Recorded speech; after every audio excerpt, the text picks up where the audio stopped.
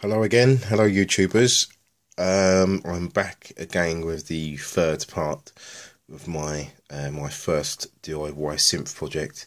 Uh, I just wanted to give you all a overview of the filters. Now, both of these are, as I've mentioned before, are Steiner Parker uh, clone state variable filters, where we have high pass, band pass, uh, high pass, band pass, low pass input on both.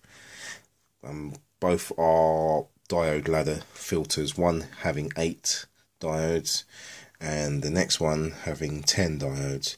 Each of these also have their own independent LFOs which come from these op-amp um, ICs over here and I'll quickly run you through the controls. Both these outside ones are the um, these are the rate the LFO rates and we have resonance controls and then we have the filter cutoff controls. Also on filter 2 we have an input gain from filter 1's output amount so you can really get this to clip and distort. Quite not too bad but it does clip a bit in a nice way, a nice warm way and really sort of punches that tone through. Um, I've decided to go for slightly different um, experiments on these two. This first one here is kind of uh, a more of a faithful recreation to the schematic I was following. However, the schematic um, is one I got from, I think it's yusynth, or what is it, yusynth? yusynth.net or .com. Anyway, doesn't matter too much. I think, I'm sure a lot of people who are watching this know what I'm kind of talking about.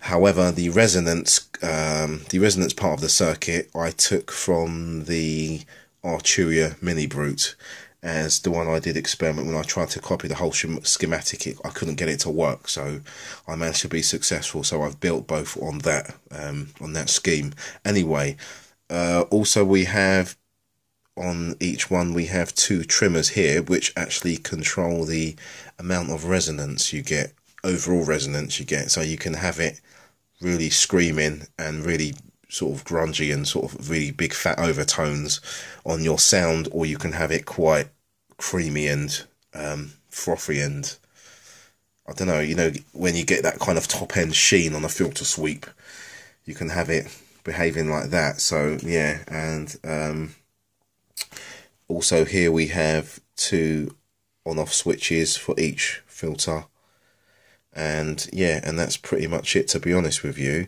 but what i also did notice was when i was kind of experimenting i was i was tr trying different types of capacitors. And i think a lot of this filter's tone actually owes to the uh, type of capacitors you use. And also probably the the amount of um, the exponential curve of the transistors that you use as well. So I've actually used slightly different capacitors in the diode ladder here.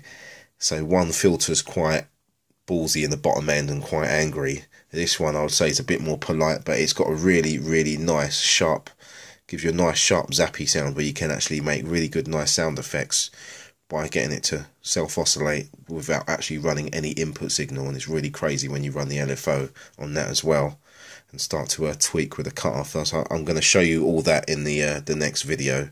So again, but we also have, you know, here is where we have the CV input, so we can input pretty much any kind of control voltage.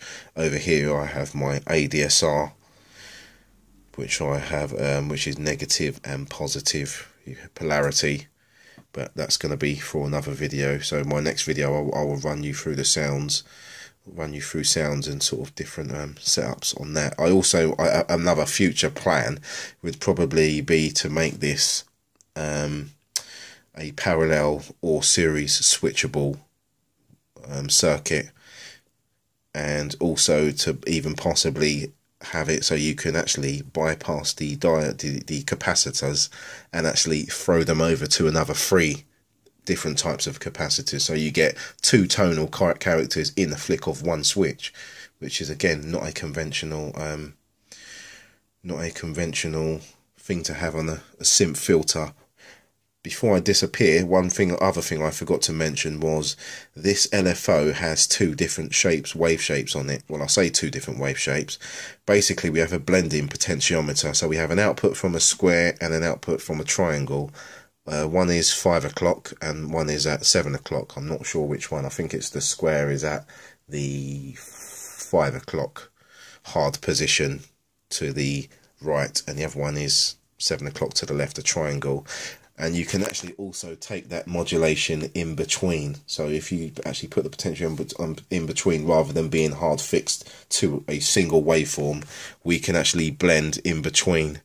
So yeah um, it does give some quite interesting modulations because it also it almost kind of creates a sawtooth of the actual hard hard edges of those wave both those waveforms together the square and the triangle. And I think I think I've covered everything to be honest with you. So yeah, next video we'll be going through um some sounds. All right. Uh, speak soon, people.